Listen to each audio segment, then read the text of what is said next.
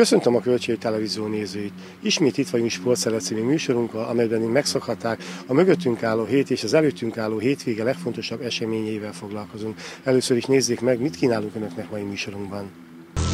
Nem pályafutás a legsikeresebb BV zárja Helebrandt Máté. Közel 50 érmet szereztek az országos döntőkben a megyediás sportolói. A tabella második helyén tölti a téli szünetet az Ibrányi futballcsapat. A bronzéremmel eredményes éve a Nyíregyháza Tigers. Nem pályafutás a legsikeresebb BV zárja Helebrandt Máté. A Nyíregyházi gyalogló mindössze három versenyen indult 2018-ban, ráadásul lábközé csontörés szenvedett a berlini Európa-bajnokságon. Amilyen jól sikerült a 2017-es évem, mondhatni olyan rosszul ez a 2018-as év. Ha bár nem így indult, mert nagyon jó formában voltam tavasszal, illetve nyáron, viszont mi mindent egy lapra feltéve csak az Európa-bajnokságra koncentráltunk, ezért nem is indultam el sok versenyen, csak két versenyen indultam el összesen, viszont az Európa bajnokságon ugye történt az a bal szerencsés sérülésem, így hát ez a, ez a 2018-as év, ez, ez eléggé ilyen lyukas év nekem a pályafutásomban. Mindösszesen csak egy bajnoki címet mondhatok el, amire úgy büszke vagyok, de a jövőre kell koncentrálni. Beszéljünk egy picit még azért a múltról. Ugye a sok edzés közepette minden sportágban a versenyek, a meccsek jelentik a visszaigazolást és a pozitív élményt. Neked mennyire volt nehéz az, hogy gyakorlatilag két és fél versenyed volt ebben az évben? Hát igazából ez volt a terv. Most hát az, hogy az Európa bajnokság előtt nem sokat versenyzek. Ha ott sikerült volna tényleg egy dobogó közeli eredményt elérni, akkor most teljesen más szájízzel beszélnék erről az esztendőről. Hát így viszont tényleg kicsit csalódottak vagyunk. Az bizakodásra ad hogy nagyon jó formában voltam nyáron. Igazából jövőre, meg a, a következő években újat nem kell kitalálnunk Józsibával. Ezeket az edzéseket kell csinálni, ezt a munkát kell csinálni. Ennyi kilométert kell menni, szóval amit idén elvégeztünk az edzéseken, az, az tökéletesen bevált hogy most kicsit balszerencsés voltam, hát reméljük a, a jövőben nem lesz ez. Viszont lehet, hogy majd a, a következő években ezt majd kicsit majd változtatni kell azon, hogy, hogy ne csak két versenyen induljak el, hanem, hanem több versenyen, mert az a biztos, hogyha, hogyha minél több versenyen indulok. Említetted, hogy ennyi kilométer, ennyi edzés, mennyi az az ennyi? Napi szinten olyan 30-35 km, heti szinten változó, olyan 150-160-170 km, ami össze szokott jönni. Idén a 170 fölött volt a, a maximum, amit egy héten teljesítettem, de átlagban a 150 kilométert szoktam edzeni a klasszikus gyalogló edzéseken kívül milyen mozgásformákat, mit végzel még a felkészülés közben? Heti kétszer járok gyógytornára, amiben benne van a TRX-es edzés is, illetve szombatonként délután járok egy crossfit edzésre, illetve vasárnap szokott lenni egy nagyon könnyű futóedzésem ebben az évben ősszel már voltál többször a jegyzőtáborban. Jövőre a világbajnoksága megszokadná picit később lesz, nem nyáron, hanem össze hogyan néz ki a felkészülési program? Mivel még nincs a világbajnokságra kvalifikációs szintidőm, ezért nekem tavasszal már hát idézőesen csúcsformába kell lennem, hogy, hogy teljesítsem ezt a kiküldetési szintet, ami 3 óra 59. Ez erősebb, mint az eddigi években lévő szintek, viszont nekem könnyen meg kell lenni, mivel az egyéni csúcsom jóval ezen a szintidőn belül van, de hát akkor is ezt teljesíteni kell, ami majd márciusban egy szlovákiai versenyen lehet majd először nekem ezt teljesíteni. Utána hát át kell majd beszélni Józsibával, meg egy-két orvossal, edz, edzőkkel, hogy ki hogy látja, mert hát kétszer kell így majd csúcsformát hozni egy éven belül, és hát nekünk október elején lesz a világbajnokság, és hát ilyen hosszúra nyúlt szezon nekünk mi nem volt, sőt hát egy atlétának sem, mert általában augusztusban szoktak lenni a, a világversenyek, és hát ez egy teljesen új, új dolog lesz nekünk. Hát ez majd, ez még majd jövő tavasszal, meg nyáron majd, majd alakul. Gondolom már valamilyen szinten a 2020-as olimpia is foglalkoztat, viszont van egy újabb cél, 2023-ban Budapesten lesz a világbajnokság, mekkora motivációt jelent ez neked a jövőt tekintve? Nagyon örültünk, amikor ezt bejelentették. Hát már nyáron volt róla szó, hogy lehet, hogy megkapja Budapest ezt a világbajnokságot. Hát én nagyon-nagyon örülök. Úgy terveztem eddig is, hogy a, a pályafutásomat 2024-es olimpia után fogom befejezni, de mindig azt mondtam, hogy a 2020-as a, a biztos, olyan távolra még nem tekintek, hogy 2024, viszont így, hogy bejelentették, hogy 23-ban itthon lesz a világbajnokság, így szinte 100% hogy, hogy ha 23-ig csinálom, akkor már 24-ig is. Szóval hát nagyon-nagyon örülök, hogy, haza, hogy itthon, hazai közönség előtt tudok majd versenyezni. A buszokat már intézzük, így is minden, minden világversenyre elkísérnek a, a, a családom, a feleségem, a barátok és a szponzoraim, de hát így, hogy itthon lesz, így, így biztos, hogy nagyon sok, sokan kijönnek majd szurkolni. Sikeres éve zár a megyediás sportja. A fiatalok közel 50 érmet szereztek az országos döntőkben. 2018 is egy, én úgy gondolom, hogy nagyon eredményes és egy, egy nagyon emlékezetes év volt, illetve lesz majd az utókor számára, hogyha a diáksportról megemlékezünk. 2018-ban is voltak nagyon komoly vállalásaink, ebből természetesen az elsők között kiemelendő az, hogy rendeztünk, illetve elnyertük a rendezési jogát az összevont labdajátékok döntőjének, amely a legnagyobb diákolimpiai országos döntő, ráadásul ez pontosan az a korosztály volt, ahol még a kézilabda, kosárlabda és röplabda sportágak még a labdarúgással is kiegészültek, ami azt jelentette, hogy több mint ezer gyereknek a sportolási lehetőségét kellett biztosítanunk itt Szabolcs-Szatmár-Bereg megyében, illetve a versenyzési lehetőségét, és én úgy gondolom, hogy az a két település, amely ebben részt vállalt Nyíregyháza és Kisvárda, magasan teljesített, és azt hiszem, hogy büszkék lehetünk azokra a szervezési feladatokra, amelyeket elvégeztünk, és hát reméljük, hogy mindenki olyan száj, mindenki nagyon jó szájízzel hagyta el a megyét, és úgy emlékeznek vissza majd erre a hétvégére, hogy nem csak a sportélmény marad meg bennünk, hanem azt hiszem, hogy, hogy bízom benne, hogy a megyéről is sikerül majd nekik nagyon emlékezetes emlékeket hazavinni magukkal. Örülünk annak, hogy ez az országos döntő ez úgy valósult meg, hogy nem csak a gyerekek, a sportoló gyerekek visszajelzései nagyon pozitívak, hanem a szülőké, a testnevelő tanárok és a szakemberek is, akik, akik folyam, figyelemmel kísérték ezt a e, nagy rendezvényt, és nagyon örülünk annak, hogy olyan neves sportolók is itt voltak, mint például Kovács Kálmán e, válogatott labdarúgó, aki a, e, természetesen a labdarúgás sportákban végezte a szakmai munkát. Emellett számos országos elődöntő, számos országos, illetve megyei döntőt szerveztünk, és úgy gondolom, hogy ezek mind-mind magas szakmai színvonalon sikerültek lebonyolításra. Nem voltak igazán komoly sérüléseink ebbe az évben, aminek nagyon örülünk, hiszen az a legfontosabb az, hogy a sportról beszélünk, hogy egészségesen tudják a gyerekek elhagyni akár a medencét, akár a sportpályákat, úgyhogy ezek mind-mind olyan eredmények, amelyek amelyek én úgy gondolom, hogy nagyon-nagyon előremutatóak. És amit még mindenképpen meg kell említenünk azért, hogy amellett, hogy versenyeket bonyolítottunk, igyekeztünk természetesen elismerni azokat a testnevelőket, tanulókat, jó tanuló, jó sportolókat, illetve nyugdíjba vonuló aktívákat is, akik egész évben végezték a munkájukat, és természetesen ennek egy díjátadó gálán is hangot adtunk, úgyhogy bízunk benne, hogy valóban ez a 2018-as év mind szakmai, mind pedig, mind pedig eh, úgymond sportdiplomáciai szempontból is eredményes volt a szabolcs szatmár megyei Diák Sportegyesület részéről. Ha az eredményességet nézzük, eh, az elmúlt tanévben 48 érmet szereztek az országos döntőkön a megyei diáksportolók, gyakorlatilag évek óta 46-47-48 körüli ez a szám. Mindek köszönhető, hogy stabilan tudja ezt az eredményességet tartani a megyei diáksportja.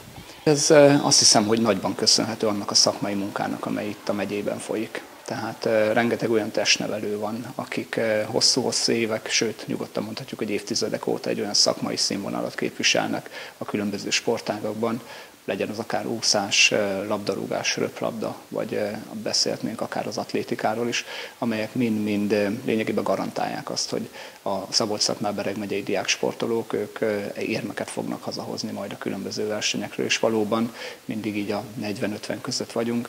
Nagyon bízunk benne, hogy ezt a 18 aranyérmet, amit idén szereztünk, és ezt, ezt a 46 érmet, amelyet sikerült 2018-ban begyűjtenünk, tudjuk növelni majd a következő évben, és reméljük, hogy ezt a bűvös 50-es számot is át tudjuk majd lépni a megszerzett érmek sorában, de természetesen nem ez a legfontosabb, de azért mindenképpen egy visszajelzés a szakmai munkát tekintve. És ezt se felejtsük el, hogy nem csak a országhatáron belül, hanem azon kívül is megmutatják magukat a megyebeli diáksportlók, hiszen az idei évben a Vasvári volt ott a világjátékokon jövőre a Móri röplabdázói mennek. Ez mekkora elismerés a megye sportjának? Ez egy nagyon komoly elismerés, és egy nagyon komoly kihívás is. Ugye azzal érdemelték ki azt, hogy a világjátékokon megmutathassák magukat, mert országos döntőt nyertek két röplabda csapatról beszélünk az előző évben, ugye a Vasvárisok nyertek országos döntőt, e, most pedig a Móricosok, mind a két csapatra nagyon büszkék vagyunk, de ez egy nagyon nagy kihívás is nekik, és azért e, egy nagyon komoly szakmai munka is, illetve feladat, hiszen e, a diák olimpiai győzelmet azt 2017-ben és 2018-ban szerezték, de ugye a világjátékon való megmérettetés az egy évvel később van, tehát ez ebből adódik az, hogy egy megváltozott csapattal kell képviselni Magyarországot, és azért azt hiszem ez szakmai szempontból egyáltalán nem egyszerű, de nagyon büszkék vagyunk arra, hogy tavaly a vasvárisok, én úgy gondolom, hogy nagyon szép eredményt értek el, és biztos vagyok benne, hogy a móricosok idén ezt meg fogják ismételni. Szó esett ugye a versenyek rendezéséről. 2018-ban és 2017-ben is országos döntőket rendezett a megyei Diáksport és Szabadidő Egyesület. 2019 amik a tervek.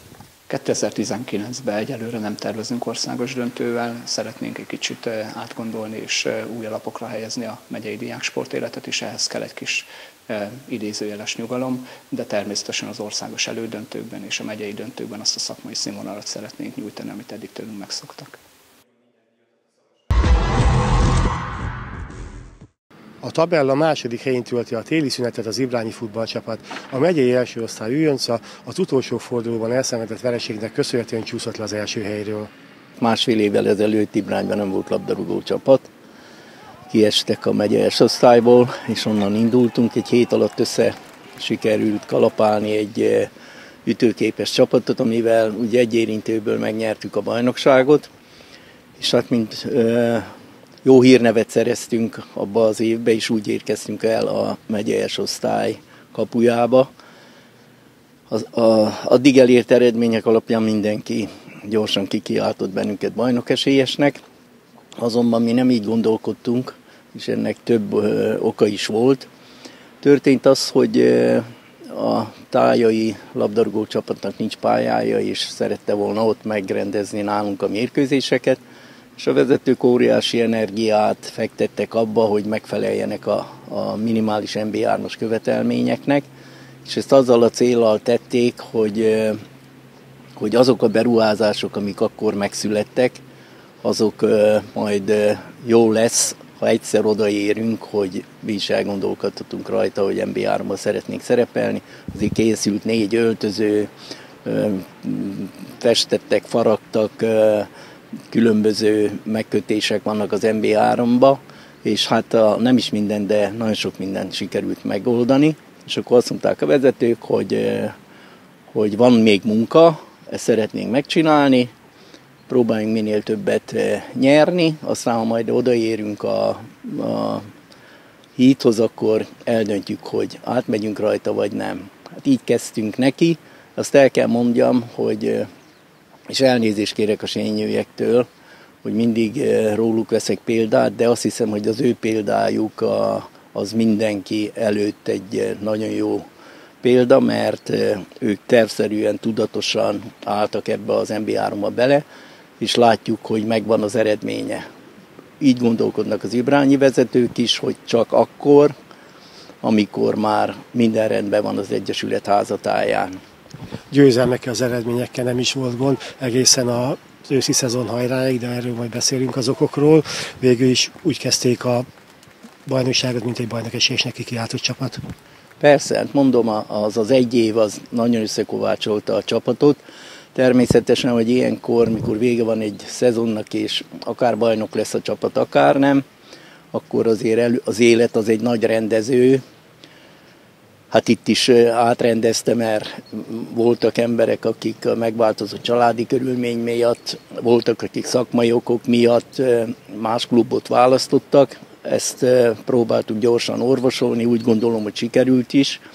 És hát az akkoriba rendezett Magyar Kupa meccseken, fölkészülési mérkőzéseken azért bizonyítottuk, hogy a lendületünk nem tört meg, talán még egy kicsit jobb is lett a csapat jobban is játszottunk, és hát a, a, az elején természetesen, hogy óriási sikereket értünk el, hisz olyan csapatokat vertünk meg, akik most ott vannak az élbolyba, nem rossz játékkal, és nagy gólarányú győzelmeket értünk el. Ez reményt adott arra, hogy hát a folytatás is ilyen lesz, aztán nem így lett.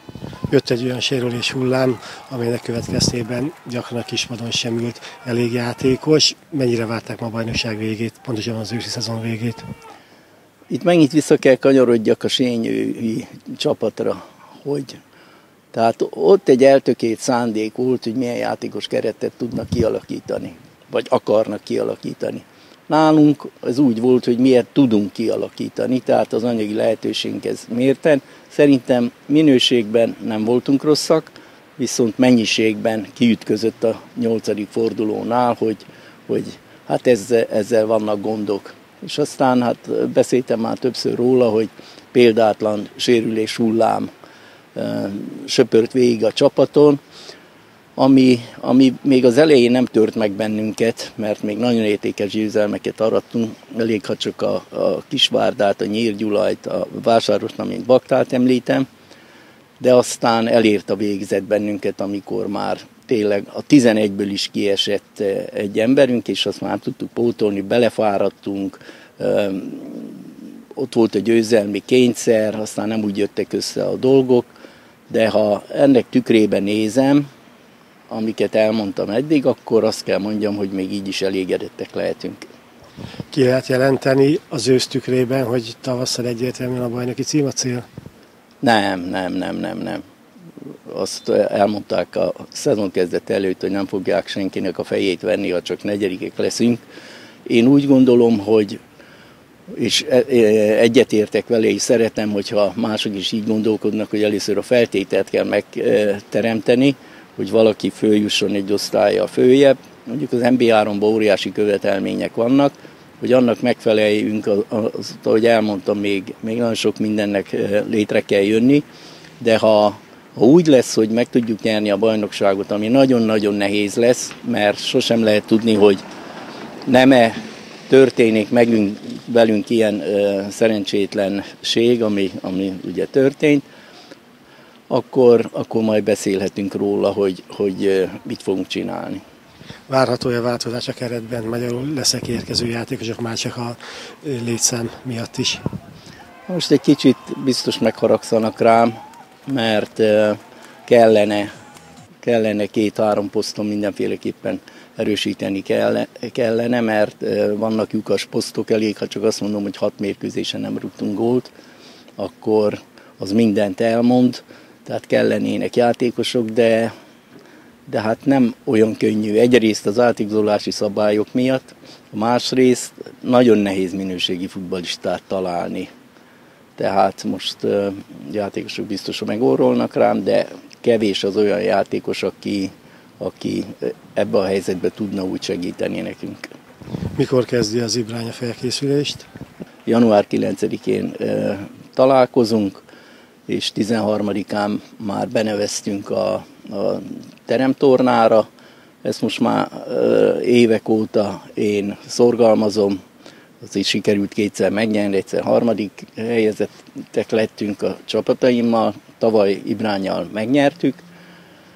Elindulunk azon is, egy jó fölkészülési lehetőség az, mert ha, ha más nem, akkor, akkor egy kicsit összekovácsolja a, a csapatot.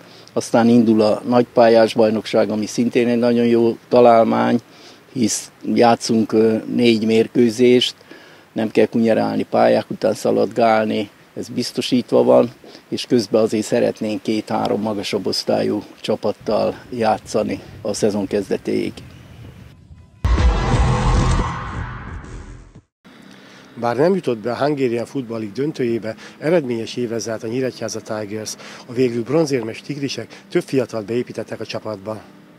Elégedettek lehetünk, mert a bajnokságot harmadikként zártuk, úgyhogy igazából az élvonalban elengedhetetlen volt, mi azt gondoltuk, egy amerikai edző, akitől Nyilván attól mindenképpen tanulnunk kell, illetve az importjátékosok, mert ebben a, a legmagasabb osztályban ez nagyon-nagyon fontos, hogy minőségi, gyors és tényleg látványos játékokat játszunk.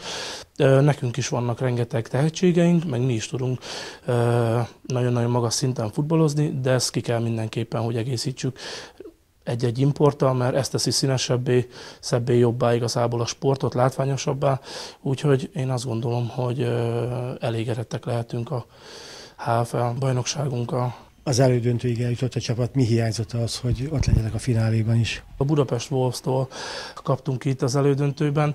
Itt, hol az alapszakaszban 17-14-re vezettünk ellenük a félidőben, és a második félidőben igazából én azt gondolom, hogy félidőben ők jobban váltottak, aztán itt az alapszakaszban mi kikaptunk tőle, és az elődöntőben is találkoztunk a Budapest wolves ahol a félidőben 14-14 volt, és igazából ott próbáltunk mi is váltani. Én azt gondolom, hogy annyi múlt nekünk, hogy a második félidőben két sérülésünk történt. Benő Márk volt az egyik, a legtehetségesebb, vagy a legjobb fiatalunk, a legjobb futónk, és a védelemből Mihalik György, aki az egyik legmeghatározóbb játékosunk volt a védelemben, és azt gondolom, hogy nekünk igazából csak ennyi múlt, hogy nem tudtunk a fináléba kerülni. Az amerikai edző itt létéből és az amerikai játékosok itt létéből mennyit tudott profitálni a csapat, és most nem csak a játékra, a játék tudása, az edzésekre, hanem a mentalitásra is gondolok. Mindenképpen minden egyes importtól és minden egyes edzőtől tanulunk, úgyhogy igazából én az edzőre azt mondanám, hogy ő, hogy ő egy teljesen kiegyensúlyozott, és igazából korábban itt ő egy teljesen, teljesen nyugodt, mindig higgadtan és nagyon-nagyon jól, jól kezeli a dolgokat. Látjuk, hogy nálunk Magyarországon nagyon-nagyon sokat izgulnak az edzők, nagyon-nagyon próbálják az instrukciókat, utasításokat adni a pályaszéléről, és őre ez nem volt jellemző, teljesen higgadtan, tudatosan, és igazából majdnem, hogy ezt tudnám elmondani a játékosokra is, hogy ők egy kicsit sokkal tudatosabbak, sokkal higgadtabbak, hamarabb olvassák játékokat. Hát igazából én azt gondolom, hogy a magabiztos, magabiztosság, amit, amit mindenképpen el kell, hogy tőlük sajátítsunk. Mit jelentett a csapat számára az, hogy többször is pályára léphetett a Városi Stadionban? Ez a játékosok számára ez egy óriási élmény volt, mert korábban, ahonnan az amerikai futball indult, ezt tudjuk nagyon jó, hogy egy ilyen hányatos sorsú csapatról van szó, és nagyon-nagyon sok pályát bejártunk, kicsit jobb, kevésbé jobb minőségű pályákat, és azt gondoltuk, hogy ha egyszer bejutottunk a Városi Stadionba, az mindenképpen az önkormányzatnak, illetve az oda segítő embereknek hálásak leszünk, de hát ez egy óriási, óriási élmény volt a stadionban játszani, mert az a pálya, az a közeg, ott a nézők, fantasztikus volt, nagyon-nagyon jó élmény volt. Ősszel a juniorok is elindultak a bajnokságban, ők milyen szezon tudhatnak maguk mögött? Egy kettő-kettes alapszakaszt zártunk. Én azt gondolom, hogy mindenképpen attól függetlenül, hogy nem jutottunk be a rájátszásban, egy sikeres bajnokságot tudunk magunk mögött, mert tudtunk egy olyan irányítót nevelni három hónap alatt, aki az alapszakasz végére nagyon-nagyon-nagyon jól megmutatta, hogy igazából alkalmas erre a pozícióra, és igazából a többi junioron is nagyon nagy fejlődésen mentek keresztül, úgyhogy én mindenképpen sikeresnek értékelem a junior szezonunkat játékosokat is. Visszatérve a felnőtt csapatra, nyáron változás történt a klub vezetésében, edzői poszton jelenleg mindkét pozíciót tetöltött be. Mit lehet tudni a jövőről?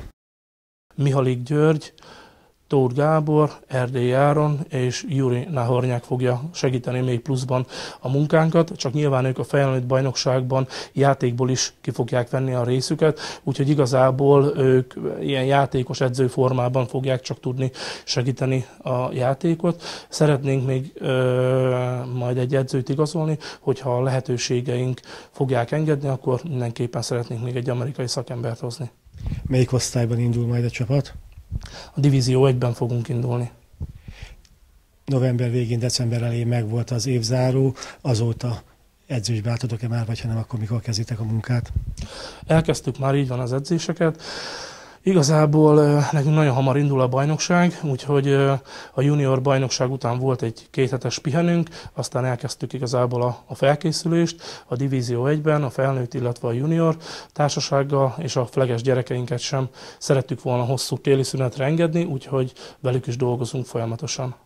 Hogy látod hosszú távon, milyen lehetőségé vannak a Nyíregyháza Tigersnek? Ugye a legutóbbi szezonban belekócsoltatok megint a HFL-be, most egy picit visszaléptetek, mikor léphettek megint egyet előre? Én azt gondolom, hogy az előrelépés az akár megtörténhet már a bajnokság végén is, hogyha ki tudjuk érdemelni a HFL-re való jogosultságunkat, akkor nyilván jövőre a HFL-ben fogunk indulni, de most igazából a koncepció az az, hogy Nekünk ezt egy nyíregyházi csapattal érdemeljük ki, hogy mi a HFL-ben valók vagyunk, úgyhogy igazából nem, nem, nem projektcsapattal, hanem a saját, saját nevelésű játékosainkból szeretnénk, úgyhogy ha ehhez egy-két évre van szükségünk, hogy a Divízió 1-be legyünk, és csak úgy tudunk visszakerülni a HFL-be, akkor annyit, annyit kell, hogy kivárjunk, de mindenképpen az a cél, hogy visszakerüljünk a legmagasabb osztályba. Ennyi fért a mai sportszeletbe, találkozunk egy hét múlva, immár 2019-ben. Köszönöm a figyelmüket, viszontlátásra!